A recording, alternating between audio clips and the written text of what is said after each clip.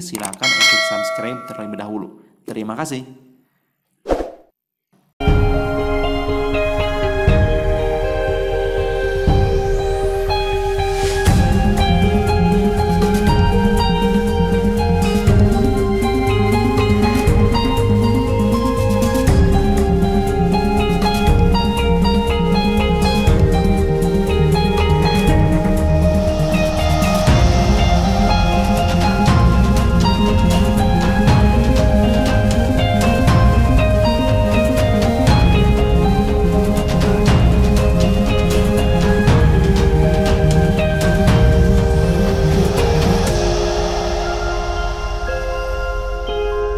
Thank you.